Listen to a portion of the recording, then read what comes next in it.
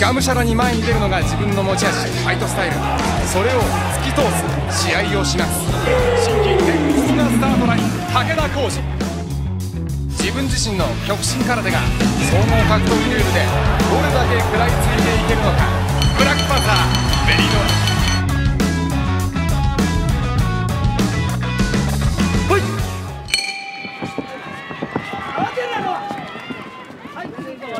この距離なんですよね、はい、武田選手はももう一歩前に出たいんですよね。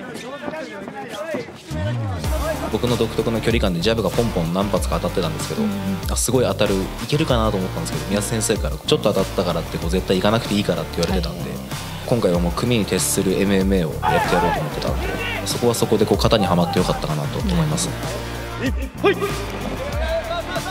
ただこのクラッチは切れないですよ高田選手は。それでダメージとかはなかったんですけどなんか宙待ってるなみたいな、まあ、投げられましたね。おっす。ぶん投げることはぶん投げてやろうと思ってたんで、まあ、34発ぐらい投げれればいいかなと。そこはちょっと狙ってやったっていう感じですね。はい。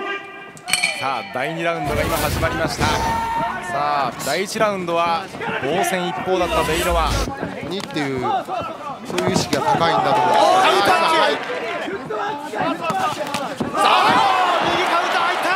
右がカツンと当たった感触ありましたね。オスライズのチャンピオンなんでベイノワ選手は。打撃もめちゃくちゃ強かったしフラッシュダウンみたいな感じなのかな。ベ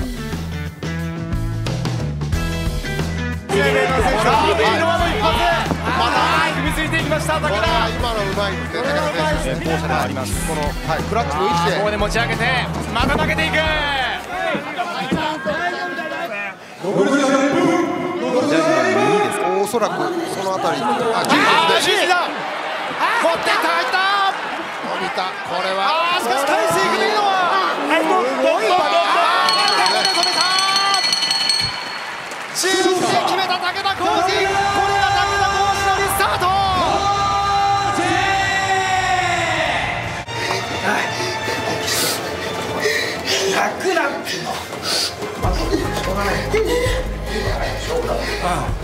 出し切ったし大丈夫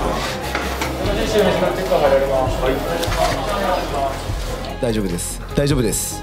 ボス大丈夫です。ボスこれがトップなんだなっていうのを身に染みてトップの高さを感じたと同時に勉強になりましたね。ボス埼玉スーパーアリーナも初めてだったので夢舞台でしたねやはり。夢舞台でしたっていうところで終わりみたいなんですけど、まあ、絶対またこの舞台に戻ってきたいと思います。はい。来年絶対戻ってきます。おっす。一発もらってちょっと倒れちゃった。あれすごい効きました。